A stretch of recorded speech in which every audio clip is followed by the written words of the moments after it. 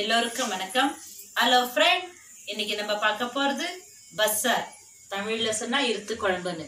இது கர்நாடகாவுடைய ஸ்பெஷல் இந்த டிஷ் உங்களுக்கு பிடிச்சிருந்தா லைக் பண்ணுங்க ஷேர் பண்ணுங்க கமெண்ட் பண்ணுங்க சப்ஸ்கிரைப் பண்ணுங்க. பக்கத்தில் பெல் இருக்கு மறக்காம கிளிக் பண்ணுங்க.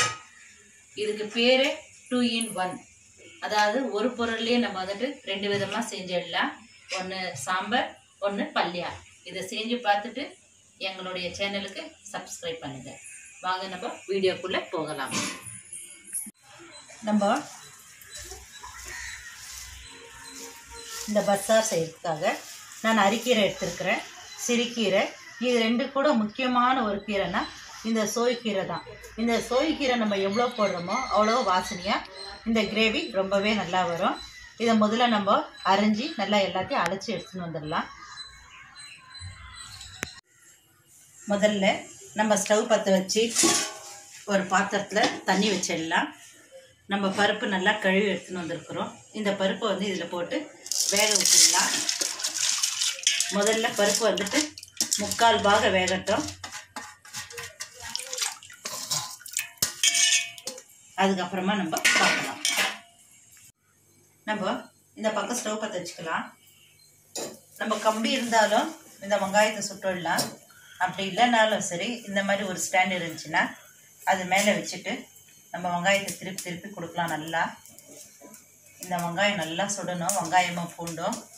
ஏன்னா இது சுட்டு வச்சா தான் இந்த குழம்புக்கான ஒரு டேஸ்ட்டே தனியாக வரும். அதனால் நான் சுட்டுன்னு இருக்கிறேன் இப்போது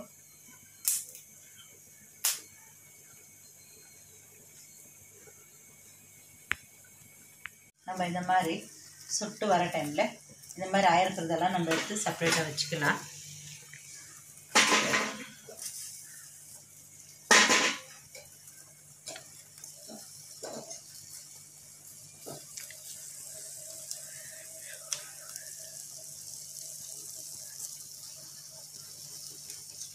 நம்மளுக்கு வெங்காயமும் நல்லா வெந்து வந்துடுச்சு.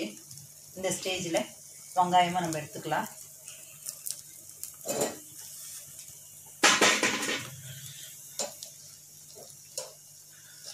இதே மாதிரி நம்ம எல்லாத்தையும் சுட்டு எடுத்துகிட்டு வந்துடலாம்.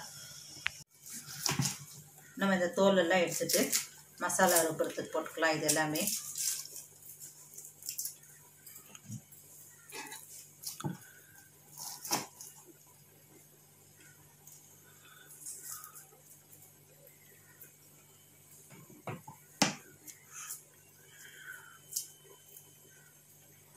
நம்ம இதெல்லாம் உரிச்சு முதல்ல எடுத்துகிட்டு வந்துடலாம்.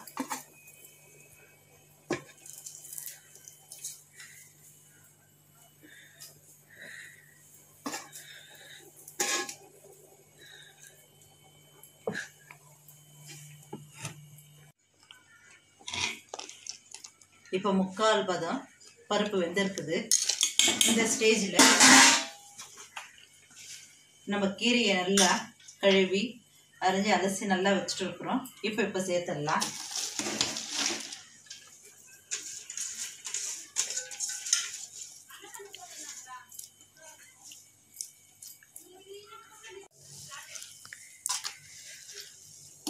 இப்போ நம்மளுக்கு கீரை கொஞ்சம் நல்லா வெந்து வரட்டும். அதுக்கப்புறமா பார்க்கலாம்.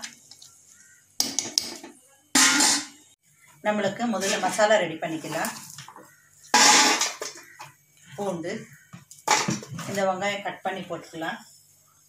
இது கூடவே மிளகு. நம்ம கொஞ்சம் சீரகம் வந்து கொஞ்சம் நிறையவே வைக்கணும் இதுக்கு. அதனால் நான் சீரகம் சேர்த்துட்ருக்குறேன்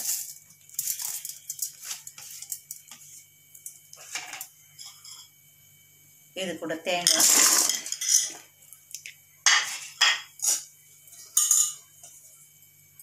நம்மளுக்கு தேவைக்கேற்ப தக்காளி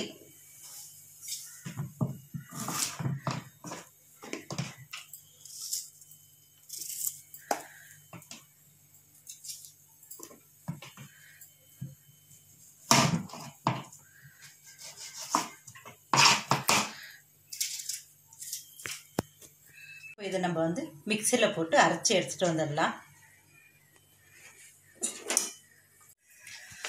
நம்மளுக்கு இப்போ கீரை வெந்துடுச்சு. நம்ம இந்த கீரையை வந்து தண்ணி வேற கீரை வேற எடுத்து செப்பரேட் செப்பரேட்டாக எடுத்துகிட்டு வந்துடலாம். இந்த தண்ணி ஊற்றக்கூடாது மறுபடியும் இந்த சாம்பாருக்கு இந்த தண்ணியை தான் யூஸ் பண்ண போகிறோம் அதனால நம்ம செப்பரேட் செப்பரேட்டாக பண்ணி எடுத்துகிட்டு வந்துடலாம். இப்போ வந்து நம்ம இது தனித்தனியாக டிவைட் பண்ணி வச்சு ஆயிடுச்சு. இது வந்து நம்ம பல்லையா பண்ணுறதுக்கான கீரை.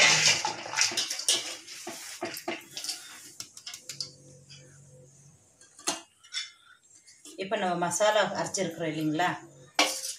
அதை அரைச்ச பின்னால்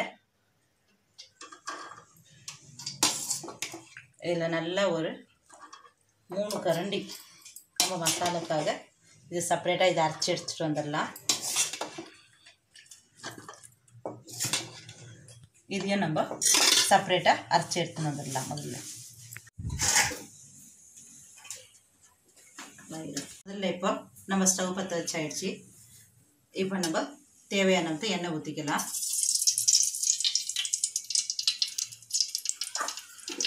எண்ணெய் காயட்டும்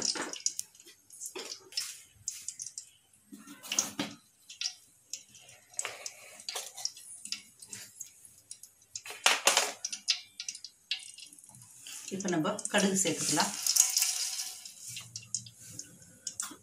கடுகு நல்லா வெடிச்சு வரட்டும்.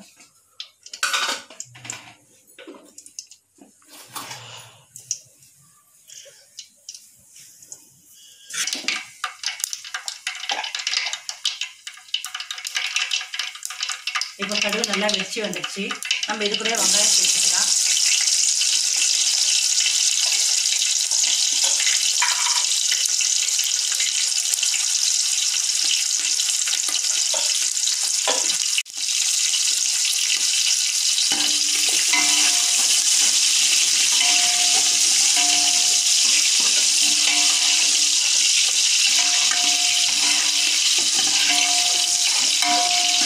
நம்மளுக்கு ஓரளவு வெங்காயம் வதங்கி நம்ம இந்த மிளகு சீரகம் வெங்காயம் பூண்டு தேங்காய் இதெல்லாம் வச்சுருக்குறோம் இல்லைங்களா? இந்த மசாலா முதல்ல ஊற்றிக்கலாம்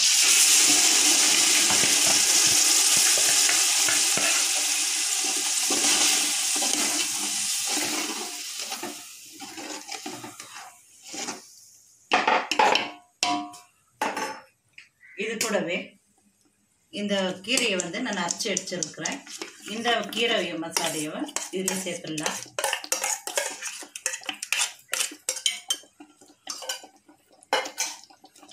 இது ஒரு ரெண்டு நிமிஷம் அப்படியே நல்லா வதங்கட்டும்.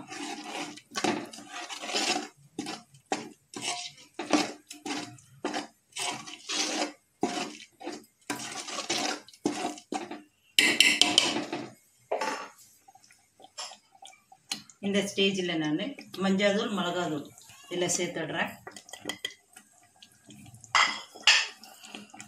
இப்போ இந்த டிஷ்ஷுக்கு தேவையான உப்பும் நான் சேர்த்துடுறேன்.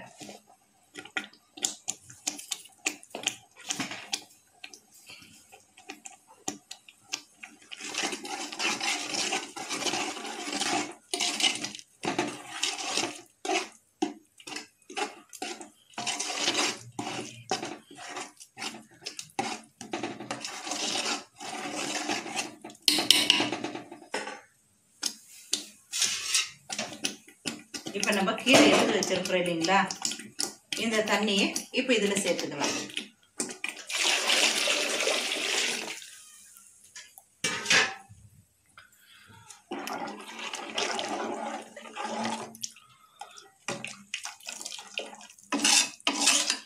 இப்போ இது நல்லா கொஞ்சம் நல்லா கொதி வரட்டும். அந்த டைமில் நான் உங்களுக்கு காமிக்கிறேன். நம்ம ஒரு பாண்டல் வச்சிடலாம் முதல்ல. இதுக்கு தேவையான எண்ணெய் ஊற்றிக்கலாம் எண்ணெய் நல்லா காயட்டும்.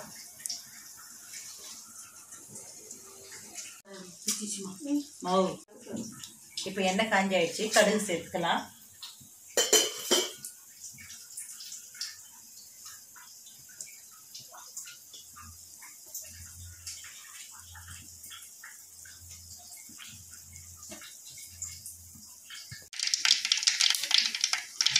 கடுகு நல்லா பொரிஞ்சு வந்துடுச்சு நம்ம இப்போ வெங்காயம் சேர்த்துக்கலாம்.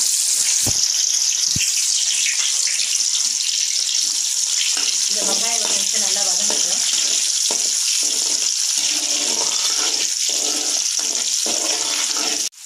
இப்போ நம்ம இது கூடவே கருப்புலேயும் காஞ்ச மிளகாய் சேர்த்துக்கலாம்.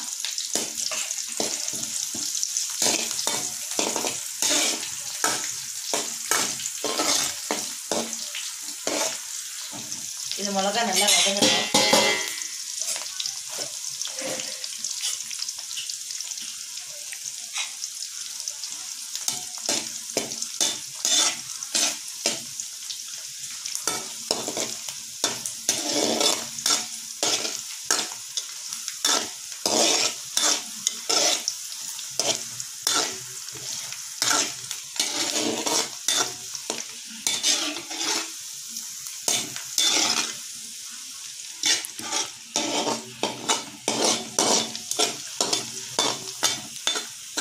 இப்போ நம்மளுக்கு நல்லா வதங்கி வந்துச்சு. இது கூட நம்ம கீரை சேர்த்துக்கலாம்.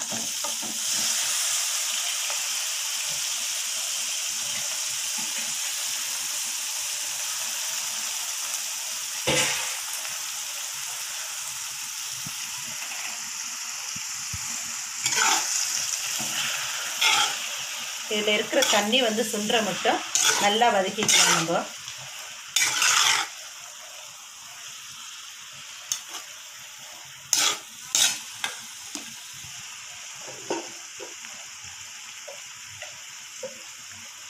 இதில் நான் கொஞ்சம் மஞ்சள் தூள் சேர்த்துக்கிறேன்.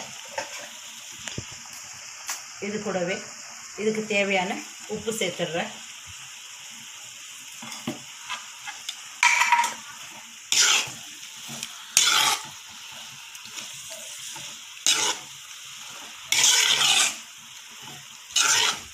இப்போ நம்மளுக்கு இந்த பொரியல் நல்லா வதங்கி வரட்டும்.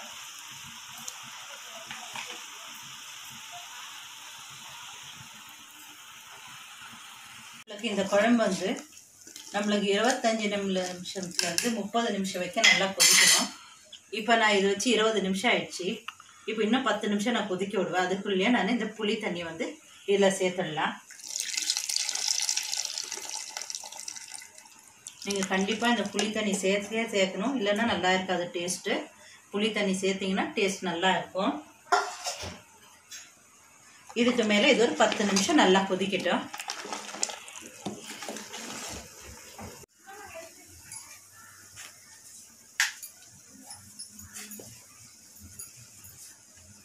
இப்போ நம்ம இந்த கீரைக்கு கொஞ்சம் தேங்காய் போட்டுக்கலாம்.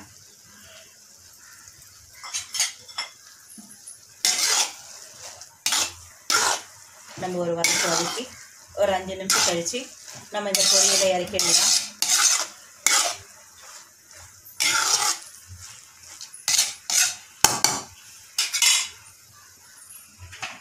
இப்போ இந்த கிரேவி வந்துட்டு நல்லா கொதித்து வந்துடுச்சு நம்ம ஸ்டவ் ஆஃப் பண்ணிடலாம்.